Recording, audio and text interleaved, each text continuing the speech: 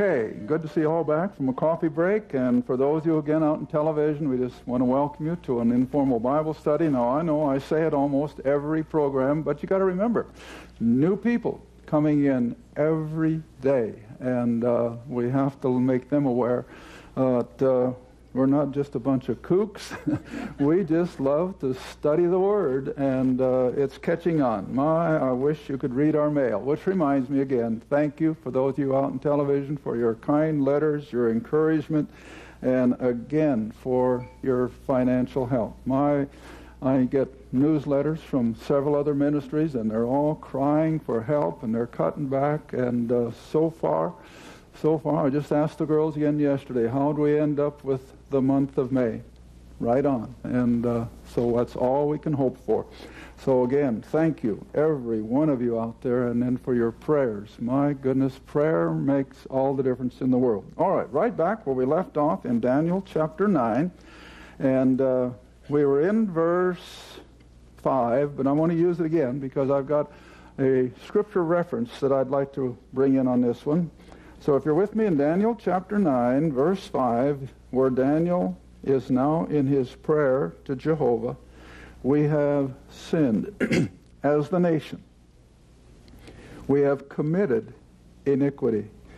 We have done wickedly and have rebelled, even by departing from thy precepts and from thy judgments. All right, let's go back to Second Chronicles, all the way back to the book of history, Second Chronicles, the last chapter.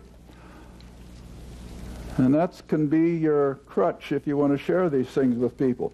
the last chapter of Second Chronicles. And you can just jump in at verse 15. And we have exactly the scenario for which Daniel is praying forgiveness. Now, maybe this is an appropriate time to remind all of us. I know that what God says to Israel has no direct bearing on us today except as we learn from it. But you know, as I've said before, when I taught Daniel way, way back in consort with Revelation, to a certain degree, we can set America right up beside all this. Even though we're not the chosen nation, we're certainly not Israel, but we have been so singularly blessed like no other nation under heaven has ever been blessed, and primarily because from day one, even though they may not have been totally born again believers, but yet all the people responsible for making America get off the ground and became such a nation is because it was always God centered. We were a God fearing people. And I'll never forget, years ago, my dad was telling me that when he first, as a kid, 10 years old, they came up to our part of North Iowa. And it was still pretty much the frontier.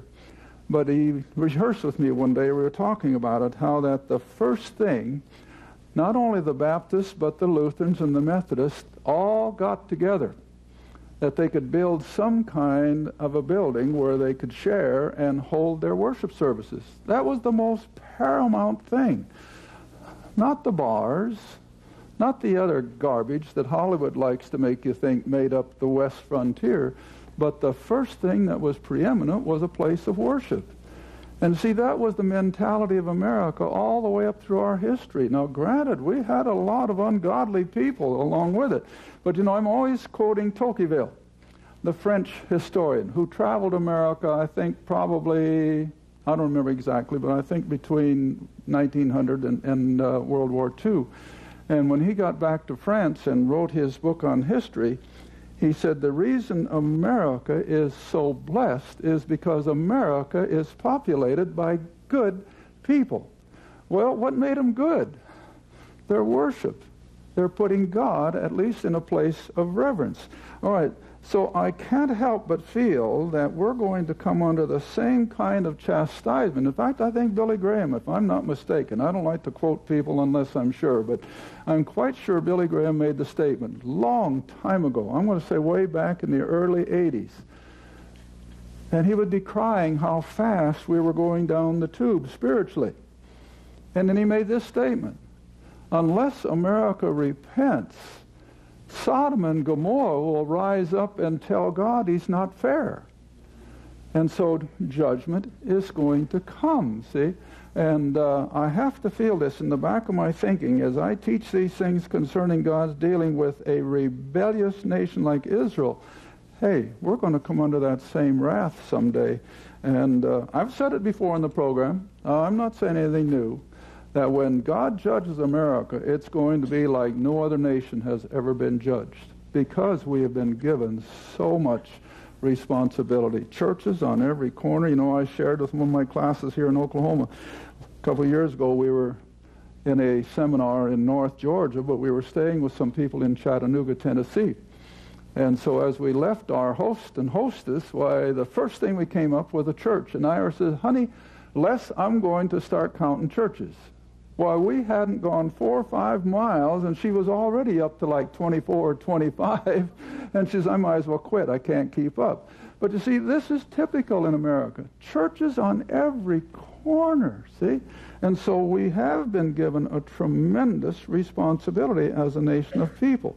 All right, but now here's Israel. Just shortly before the captivities begin. Second Chronicles chapter 36, and jump in with me at verse 15. And the Lord God of their fathers sent to them by his messengers, that is, the prophets, rising up betimes and sending, because he had compassion on his people. He wanted to give them opportunity to repent, as we say more or less today, and to have a change of direction, see? And he had compassion on his people. Now that's why I'm emphasizing all the time. Remember, this is God in Israel. This isn't God in the church. This isn't God and Gentiles. This is God in Israel. He's had compassion on his people and on his dwelling place, which of course is Jerusalem. But, but, that big flip side, they mocked the messengers of God.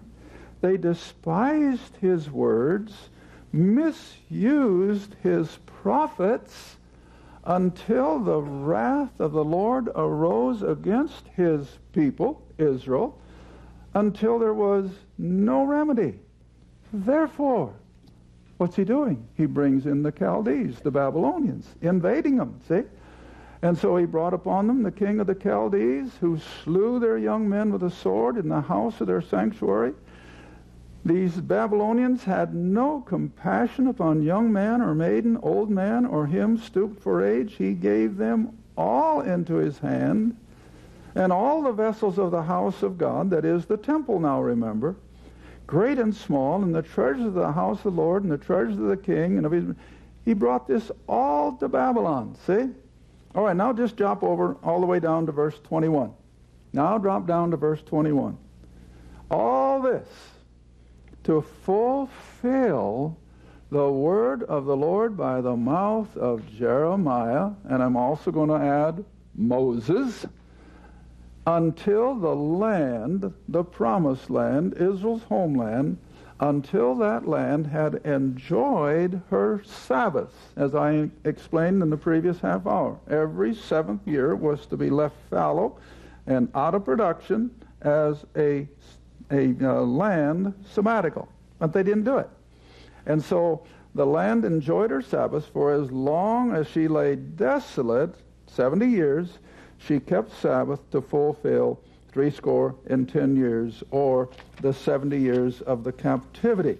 All right, now then we can come back to Daniel chapter 9, and I'm going to go into verse 6, and I've got yet another portion I want to take you to, and that'll be up in the New Testament. But let's stop in Daniel chapter 9 again, now verse 6. Daniel chapter 9, verse 6, so that you'll understand why Daniel is praying the way he is praying in chapter 9.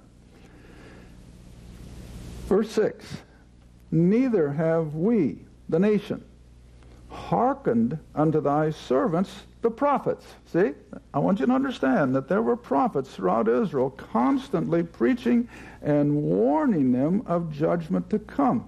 Now, you remember when we did a verse by verse on the book of Dan- uh, Isaiah some time ago. I don't think it's even been on the air yet. except on the weekends. But my goodness, what was Isaiah's complaint? The same thing. Turn from your idolatry. Turn from your rebellion, or you're going to have foreigners in your midst. Well, they didn't turn, and they got foreigners in their midst. See? All right, verse 6 again. Neither have we hearkened unto thy servants the prophets, who spoke in thy name to our kings. See? The upper echelon were just as guilty as the low man on the totem pole. You spoke thy name to our kings, our princes, and our fathers, and to all the people of the land. What did they do with them? Now turn up with me to Acts chapter 7 and let the scripture speak. Let the scriptures tell us what they did with them. Acts chapter 7. and here we have Stephen. The last opportunity for the nation of Israel at the time of Christ to yet repent of having crucified and rejected their Messiah and enjoy all the fulfillment of the Old Testament promises, here's their last chance. I always call this the crescendo, the music word. This is the crescendo of Israel's rebellion. This is when they came to the very peak of their adamancy. We will not succumb to this Jesus of Nazareth. All right, and so here we have Stephen now presenting their last opportunity. And always make note of the fact that when you get to the last verse or thereabouts in the first verse of chapter 8, we're introduced to the next major player because Israel is rejecting. All right, but Acts chapter 7, verse 51. And Stephen is addressing the religious leadership, remember, of the nation of Israel. And so to this religious leadership, he says, You stiff necked, uncircumcised in heart and ears. Oh, they were circumcised in the flesh, but not where it really counted in the realm of the spirit. See? Okay, stiff necked and uncircumcised in heart and ears. You do always resist the Holy Ghost or the Holy Spirit. Now, watch it. As your fathers, your forefathers back there now in Isaiah's time and before, and your fathers did, so do you. Now, look at verse 52. Which of the prophets, any of them that you could name, which of the prophets have not your fathers persecuted? And they have slain them who showed before the coming of the just one. In other words, the very prophets that were promising the peace and prosperity and the glory of this earthly kingdom, they killed them. And you've heard me say it a hundred times on this program. If they didn't like the message, what'd they do? They killed the messenger. Even Israel, see? Okay, read it again. Which of the prophets have not your fathers persecuted? And they have slain, put to death, them who showed before the coming of the just one, the Messiah, of whom, speaking of the Messiah, you have now been betrayers and murderers. That's what the book says. That's not what I say. It's Scripture. And then look at the next verse. You who have received the law by the disposition of angels. Now that's kind of a tough one to explain because we know that the law was given to Moses, but there must have been an angelic force along with it. But you who have received the law, those Ten Commandments, written by the finger of God in stone, and you have not kept it, see? Why? Rebellion. Unbelief. In fact, I just had a call the other day from a lady that's writing a book. And she said, Les, I don't know who else. Come back with me, Daniel chapter 9. She said, I don't know who else to ask. Why did Israel reject the Messiah? Well, now you just think a minute. How would you answer that question? Why did Israel reject their promised Messiah? Well, I took her to Matthew 16. Now let's look at it. This is Bible study. I'm not under any set order to cover such and such in 30 minutes. I took her back to Matthew 16, and I probably wouldn't rehearse it, but she was so thrilled with the answer she couldn't say thank you fast enough. See, this is exactly what I was looking for. Now remember her question. Why did they reject Jesus as the Messiah? And this is a good place to go. We use it over and over. Matthew 16, starting at verse 13, at the end of his three years, just shortly before they go up for the Passover and the crucifixion.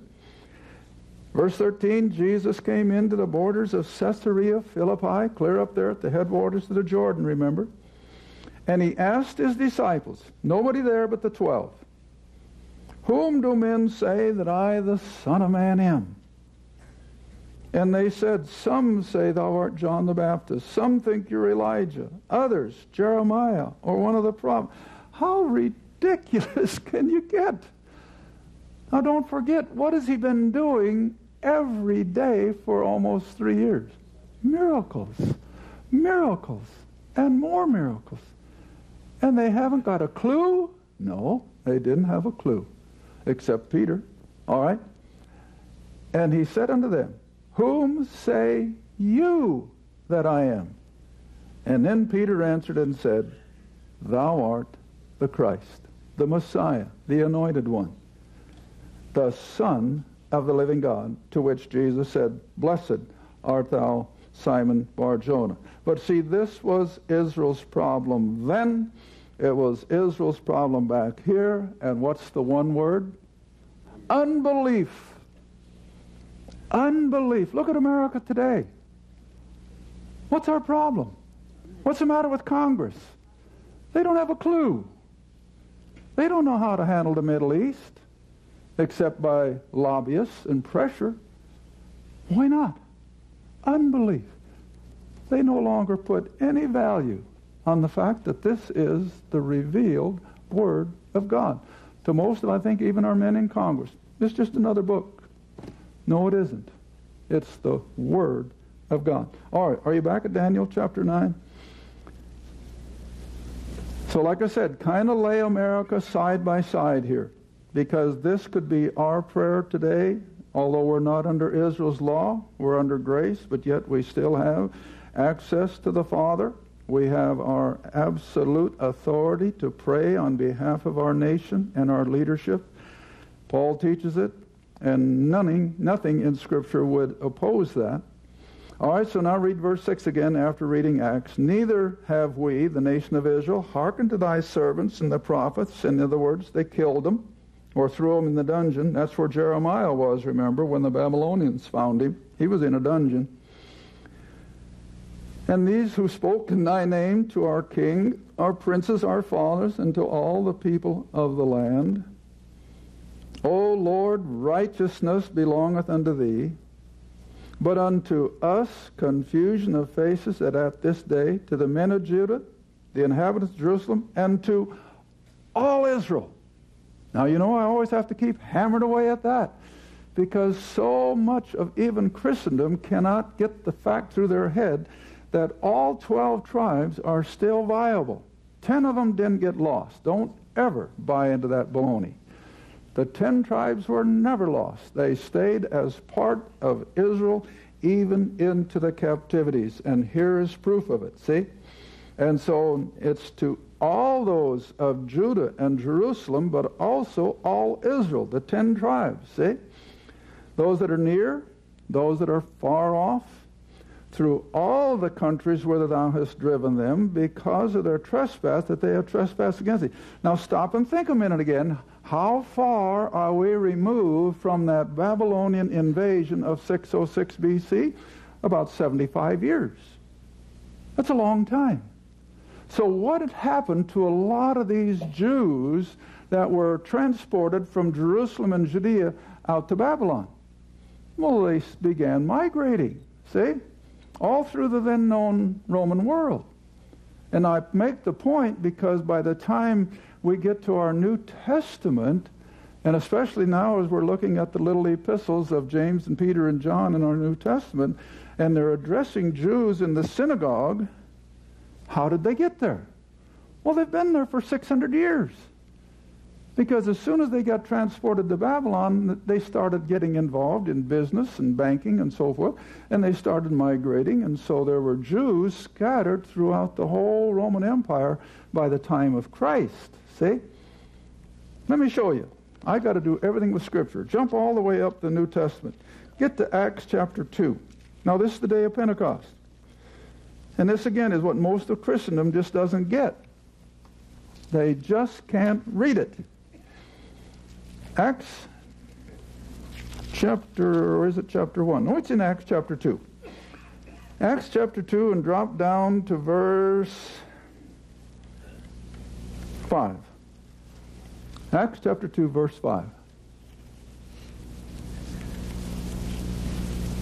Now I'm saying this in regard to history. 600 BC is when they were first emptied out of Jerusalem and out of that whole nation of people that was taken captive, only 40 some thousand came back under Ezra. That's just a, a little smidgen. What happened to the rest of them? Well, they migrated all over the then known world, see? All right, but they still kept contact with the temple in Jerusalem. They still, if they were good, sincere Jews, would come back to at least one or two of the feast days. All right, that was Pentecost. And so Pentecost, as a feast day, saw Jews coming from all over the then known world, which is now the Roman Empire. See? Verse 5. So there were dwelling or abiding at Jerusalem Jews, devout men. Now watch it. Out of every nation under heaven. Well, what was the part of the world under heaven that they're talking about? The Roman Empire. Now, the Roman Empire went all the way from Spain and across the northern part of the Mediterranean, across the Middle East, Turkey, out through present-day Middle East, and then down around the Mediterranean, down across Egypt and into North Africa. That was all the Roman Empire. There were Jews coming from all those nations throughout the then known world. Now, it stands to reason when those Jews have been out in these various foreign nations now for two, three, four generations, what language were they speaking? Well, anything and everything but Hebrew. You got me? And now look at the next verse. Verse 6 Now, when this was noised abroad, and the multitude came together from every nation under heaven, remember, they were confounded because every man heard them speak in his own language. Goodness sakes, a sixth grader can understand that. In other words, if they came from France, what were they speaking? One of the French dialects. If they came from Syria, what were they speaking? A Syrian dialect. If they came from Timbuktu, they were speaking, though. But on the day of Pentecost, what language did they hear it? In their own language. See, that was the miracle of Pentecost. It wasn't an unknown Babel. It was their language that they heard it. See? All right, now what got me off on that? I don't know. Come all the way back to Daniel. Now, verse 8. Oh Lord, see how he is pleading in his prayer? Oh Lord, what was the true name for Lord? What were they refraining from saying? Jehovah. See, that's who they were really praying to.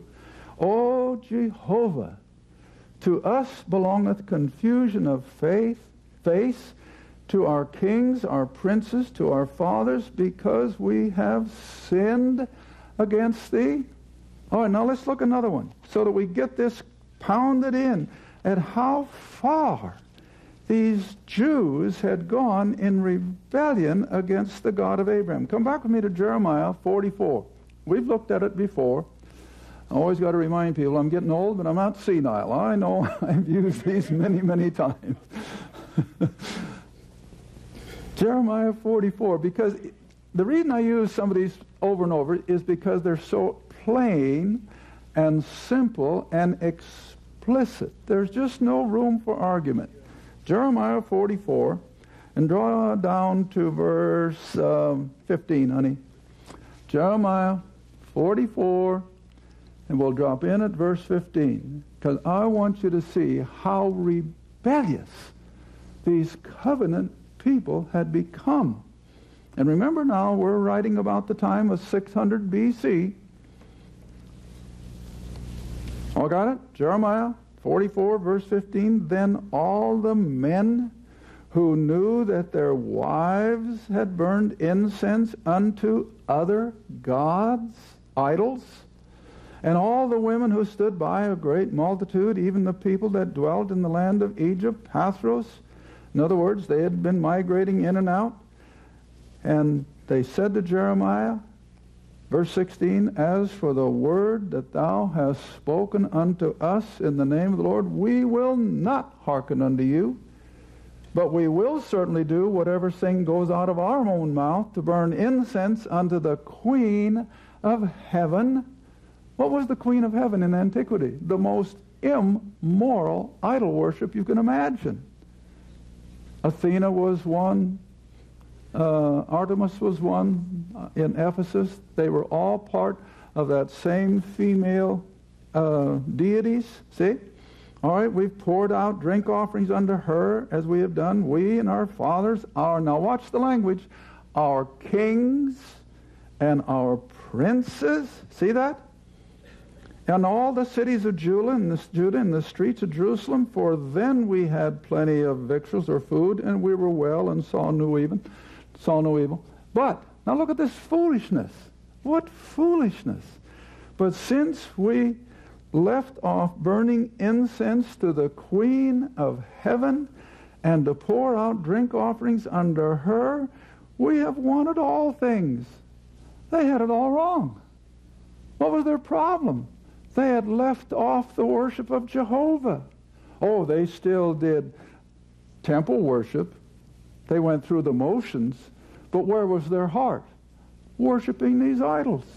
Worshiping these these pagan gods of the Gentile world.